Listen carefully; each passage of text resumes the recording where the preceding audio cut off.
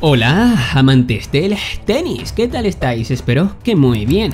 Y veo que queréis más info sobre Electronic Arts y su nuevo videojuego. Como dije, es un rumor que sea de tenis. El rumor empezó desde que se vio a Zverev con el logo de eSport. Pero eso, de momento, es solo un rumor. Ahora bien, sí que hay algo muy importante que anunció EA a principios de este 2020 y que da más fuerza al rumor.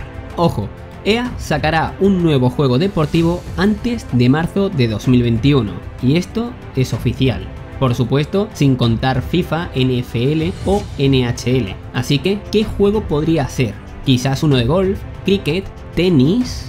De todos estos, el más factible sería el de tenis, pues ya hemos visto el logo de EA Sport en Zverev, y además en el vídeo anterior di unas cuantas razones que hacen muy posible un nuevo título de tenis. Te recomiendo que veas dicho vídeo si no lo has visto todavía.